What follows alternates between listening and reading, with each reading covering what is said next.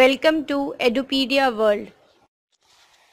In this module, we will learn about the state of Indian economy on the eve of independence and the positive and negative contribution of British rule.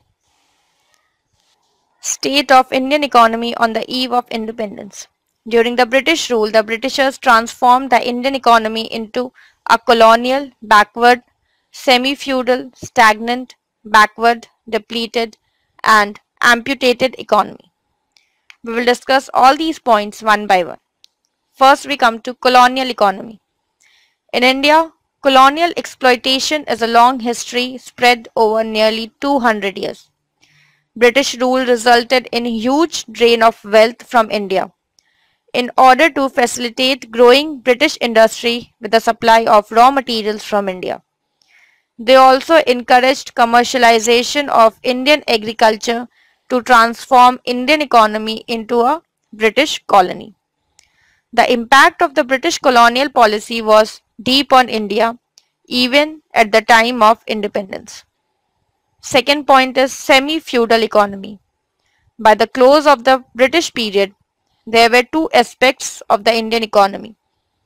First is introduction of feudal system. The land settlement system gave birth to feudal relations, landlord-tenant relations. The landlord used to charge very high rate of lagan and were very cruel to the cultivators.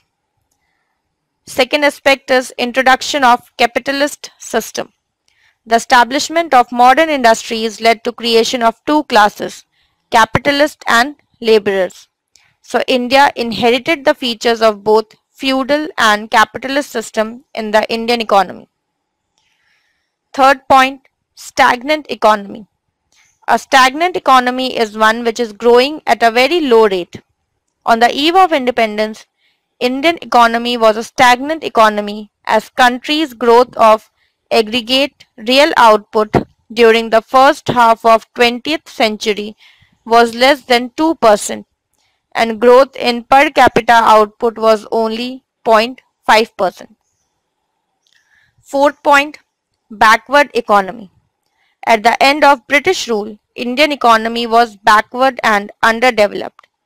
The main reason for the backwardness of Indian economy were low level of productivity, low per capita income, traditional method of agriculture, high birth and death rate, mass illiteracy. Now we come to the fifth point that is depleted or depreciated economy. At the time of independence, Indian economy was a depleted economy. Depleted economy refers to an economy where no arrangements have been made to replace the physical assets depreciated due to excessive use. During the Second World War, Indian industry had to work beyond their capacities to meet the increased demand of plant, machinery, equipments, etc. for the war. However, British rulers did not make any arrangements to replace the depreciated physical assets. As a result, British rulers had left a seriously depleted economy. And the last point is amputated economy. The Britishers' policy of divide and rule always promoted discrimination between various groups on the basis of religion, caste, language and culture.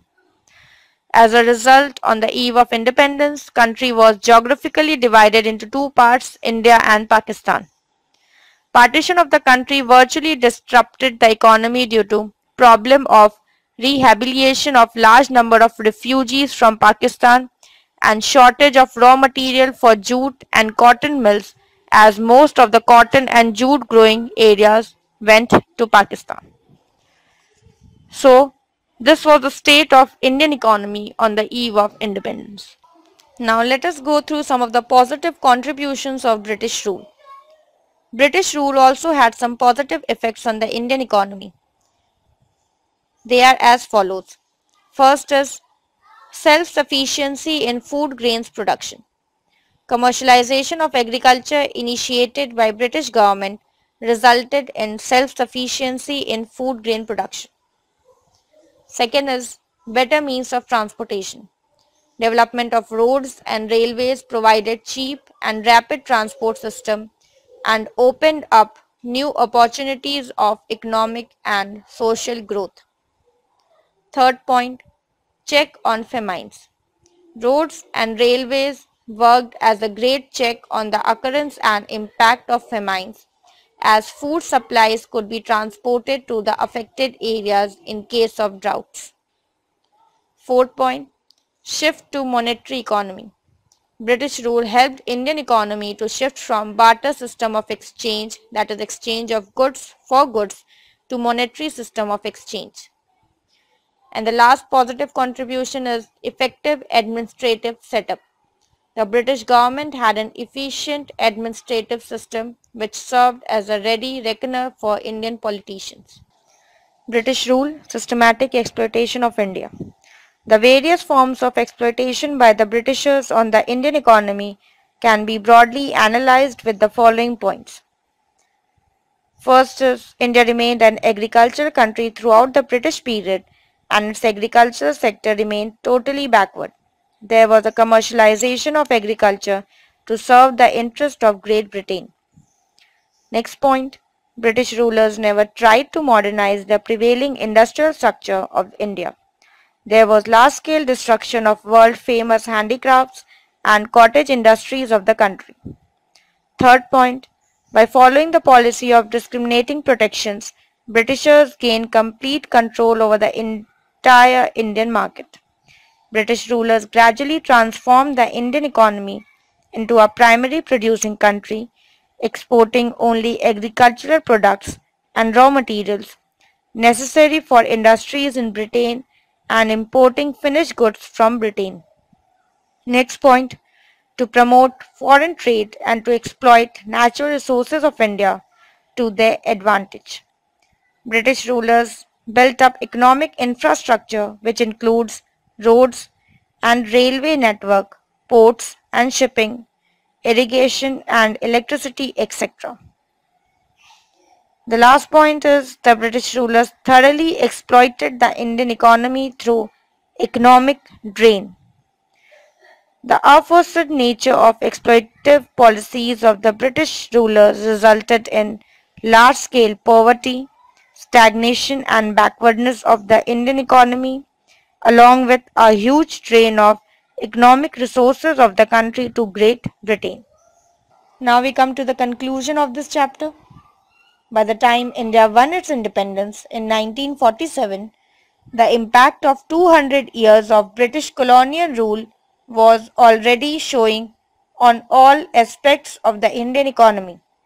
Following points are the clear proofs of economic underdevelopment during the British period the constant per capita income over a long period, increasing dependence of population on agriculture, the zamindari system, traditional methods of cultivation, high frequency of famines, destruction of Indian handicrafts, and inadequate industrialization.